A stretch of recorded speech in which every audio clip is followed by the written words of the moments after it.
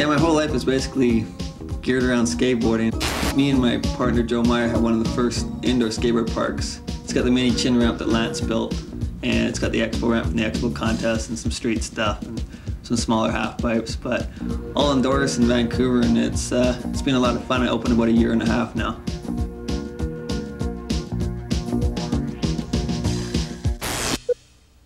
Dare to be different.